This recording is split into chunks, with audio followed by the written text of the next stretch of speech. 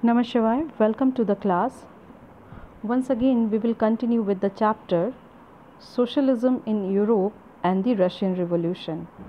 And today, we will discuss about the coming of socialism in Europe. Here, first we have to understand what is socialism. Actually, socialism was a radical idea which was based on abolition of private properties and projected a dream of classless society. Most of socialists saw private property as the root of all social ills. They argued that the capitalists were only concerned about their profit and not with the welfare of workers. So they put forwarded the ideas of socialism. It stands for the abolition of private property in land and nationalization and socialization of all factors of production. But the question arises that how would society operates without property and what would be the basic for such society it means socialist society. Here socialists had different vision about socialism in future. Some socialists believed in the idea of cooperatives. Some other socialists believed that the government should encourage cooperatives because it was not possible to build a large scale cooperatives by individual initiatives. The socialists like Robert Owen sought to put a cooperative community called New Harmony, but the experiment failed due to mismanagement and indisciplined individualism.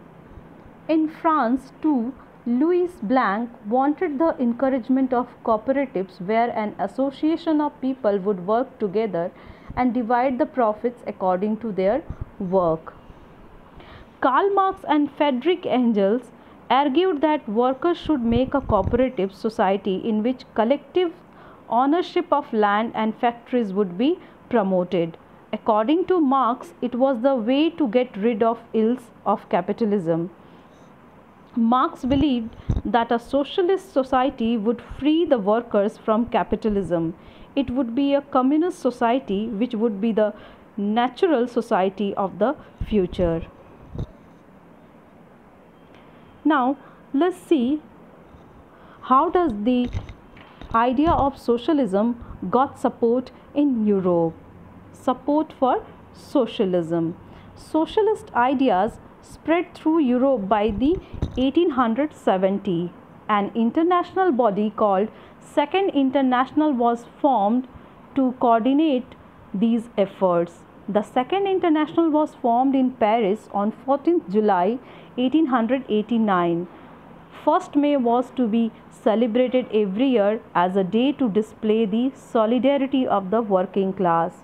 Workers in England and Germany began forming associations so that they could fight for better living and working conditions.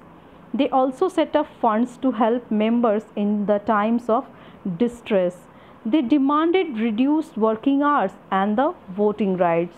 These associations worked closely with the Social Democratic Party, that is SPD, in Germany and helped it in winning the parliamentary seats. Similarly, a Labour Party was formed in Britain and a Socialist Party was formed in France by 1905.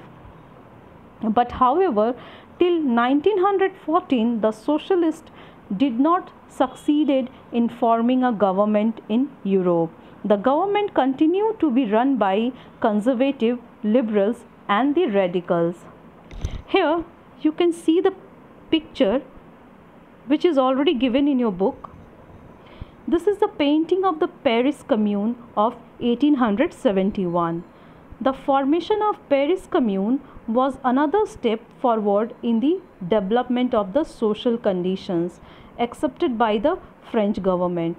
After its defeat in the Franco-Prussian War, the Paris Commune declared its aim as ending exploitation, monopolies and speculation.